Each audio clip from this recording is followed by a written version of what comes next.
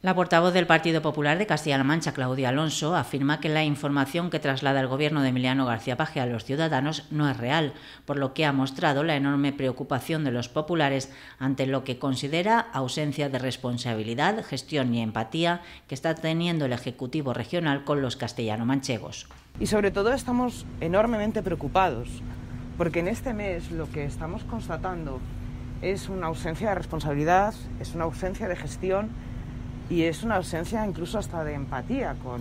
con las necesidades que tienen ahora mismo todos los ciudadanos. Así lo ha manifestado Alonso en declaraciones a los medios tras la reunión del Comité de Dirección del Partido Popular de Castilla-La Mancha, donde ha criticado que Paje haya tenido un fin de semana de asueto ante los incidentes que se produjeron en la ciudad de Albacete y pese a que el líder regional del Partido Popular, Paco Núñez, le pidió de manera encarecida que actuara y estuviera en la zona trasladando el apoyo de los populares a las medidas que fuera necesario tomar por parte de la Junta. Igualmente, la portavoz del Partido Popular ha incidido en la opacidad absoluta que el gobierno de Paje traslada a todos los ciudadanos, ya que afirma que los rebrotes en la comunidad autónoma están siendo bastante más numerosos de lo que se está comentando.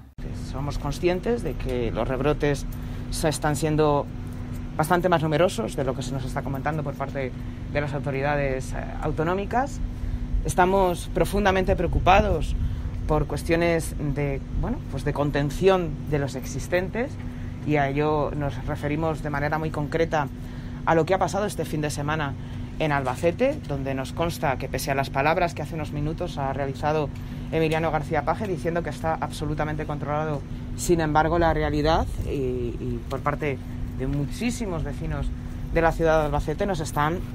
constatando que hay muchas de las personas que han dado, que podían haber dado positivo en, en las pruebas de PCR,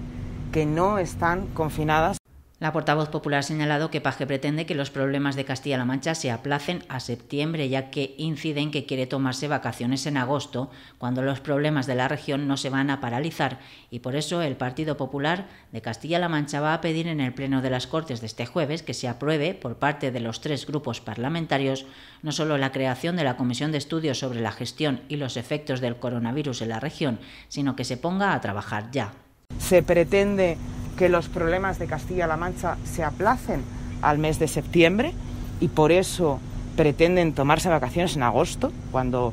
los problemas de los castellano-manchegos en agosto no se van a paralizar. Y por eso vamos a seguir pidiendo encarecidamente que este jueves, que va a haber pleno aquí en las Cortes, se pueda aprobar por parte de los grupos parlamentarios, de los tres grupos parlamentarios, no solamente la creación de esa comisión de estudio de los efectos del COVID-19, sino sobre todo algo muchísimo más importante, que es que se pongan ya a trabajar esa comisión.